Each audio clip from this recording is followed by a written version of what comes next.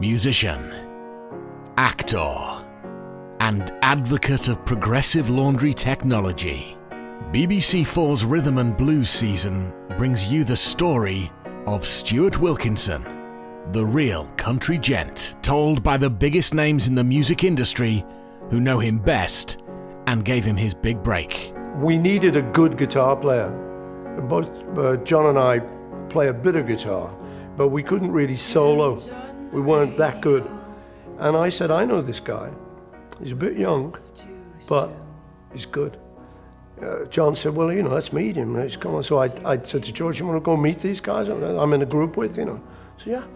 So he brought his guitar, and we were on the top deck of a double-decker bus in Liverpool, around where John lived, a place called Woolton. And nobody was on the bus late at night. And uh, John said, well, go on and let's see you play. And he played this thing called Raunchy, which was... He took a, a, genre of music which was truly an American art form and brought it to the mainstream. He was a character. He was a, he was a funny guy. Hear intimate stories from those who know him best. He was just a magical guy and he would show up with his guitar, get out of the guitar, get out of the car with the guitar and come in and you start playing. And we walked around the garden, we sat down at the bottom of the garden looking out over the and the sun was shining and, and it was a beautiful morning and, and he started to sing.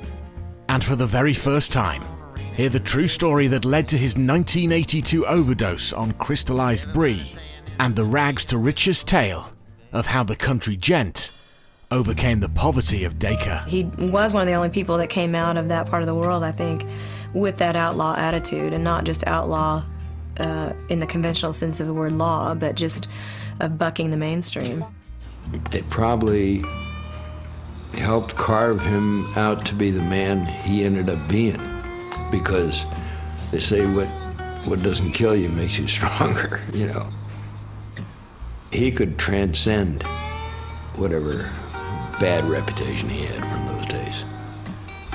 But he was as bad as he gets back in those days. Bad as i've seen you know.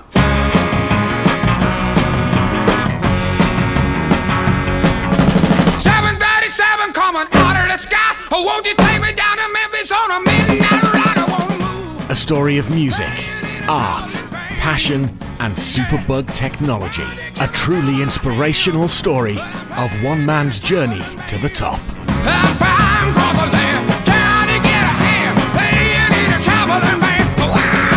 The Stuart Wilkinson story told by those who know him best. This Christmas Day at 9 o'clock exclusively to BBC 4.